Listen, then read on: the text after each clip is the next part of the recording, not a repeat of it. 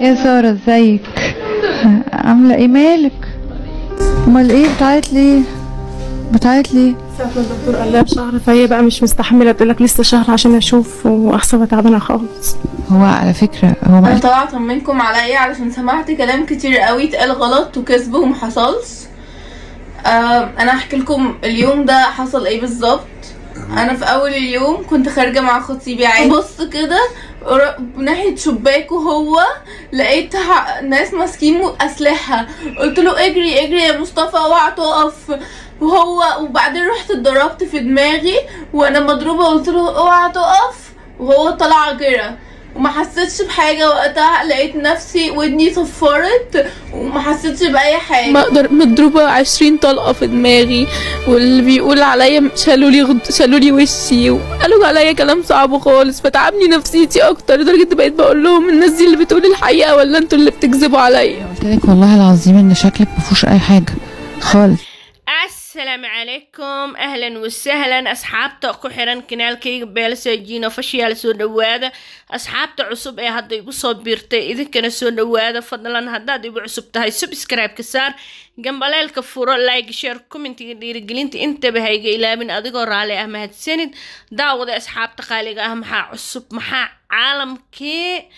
Masarka cusub saara maxamed maxamuud oo ah gabar dhalinyaro daawade waxa caalamka oo dhan wada qabsaday oo wada haysto qisada saara oo ah gabar dhalinyaro reer masar ah. Saara oo dhibaatooyin aad iyo aada u fara badan soo gaareen dhacdadii ku dhacday saara qisadeeda. Qisadii saara oo qof walba aragtidiisa siduu u arko fikirkiisa ah ugu falcelinaya saaro waa gabar dhalinyaro ah qurux badan maasha allah oo yacni aragtida indhaha u beeshay jeceylkeeda dartiisa.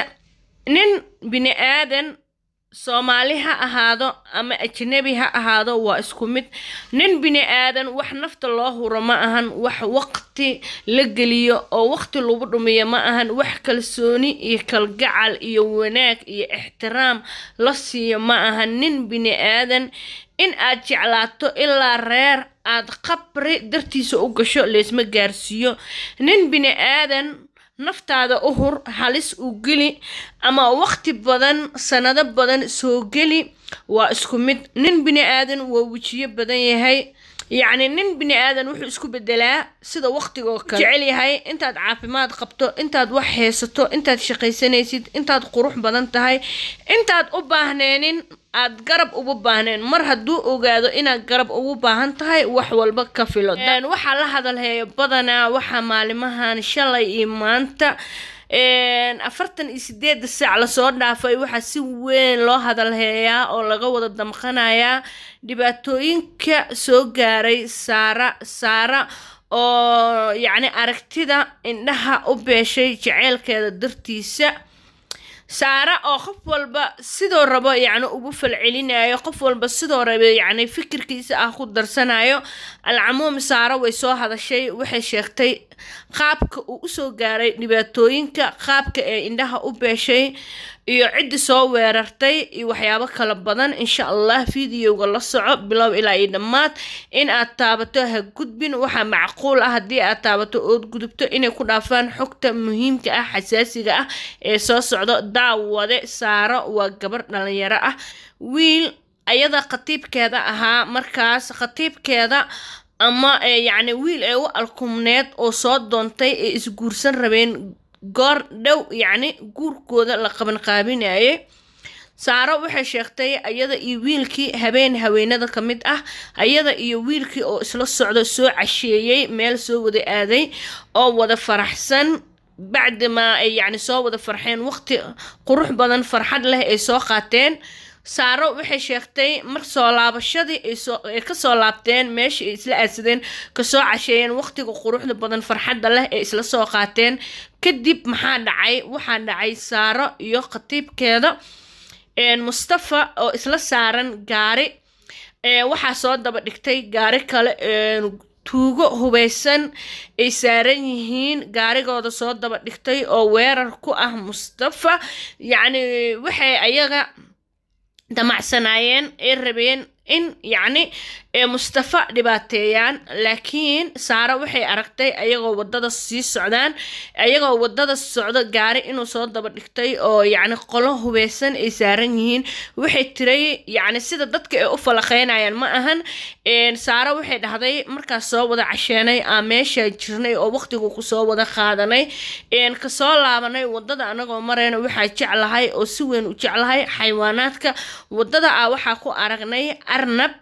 Yacni ama bakeylo midkaa u taqaanid bateylihii oo yacni xayawaanaadka aada u jeclahay bakeylihii oo mustafa u degtay markuu u degtay waddada baabuurkan kale oo hubeysan oo qolo hubeysan ay saaran yihiin dabley ah oona soo dhigtay aa arkay waxaan dhahay mustafa ka carar hayey yacni dad hubeysan aana soo daba dhigteen ka fako ka carar.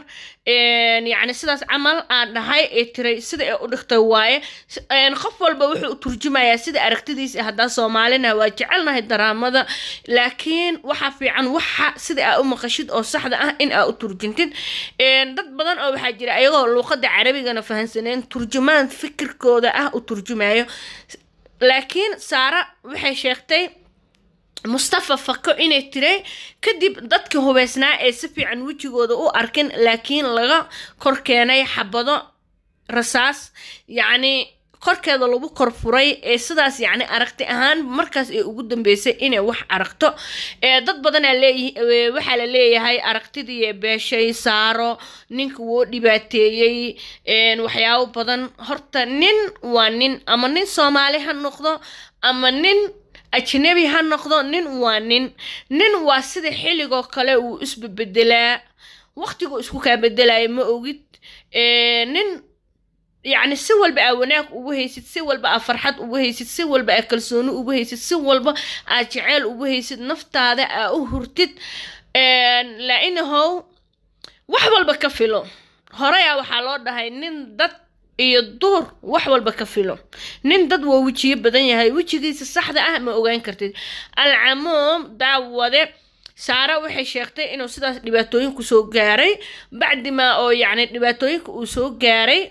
Saara ee isbitaal gashay ee indhaha beeshay saara waxaa kaleento oo soo hadleen ehelkeeda oo ka falaqeynayaan. Ehelkeeda waxay dhaheen sida dadka ay u turjumayaan aclaanka yacni oo xayeysiinta iyo akhbaaraadka loo gudbinayo ma ahan weli yacni lagama quusanin saara caafimaadkeeda indhaha.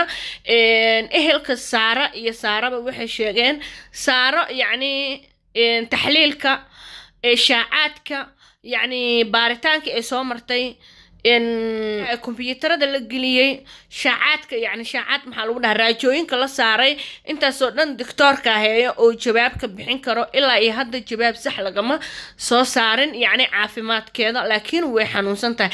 Dhacdadana ma ahan wax cusub oo hadda bilowday dhacdada waxay ahayd oo saara oo yacni hadda la wadwado oo wax cusub laga dhigayo saara waxay dhibaatada soo gaartay sanadka cusub bisha koowaad labadeeda uu ahaa laakiin waxaa la shaaciyey oo adduunka oo wada qabtay oo soomaali daraama uu soo gaaray waa shalay iyo maanta ilaahay caafimaad taamah ilaahay ha siiyo nin bini aadan isku haleyn ma lahan.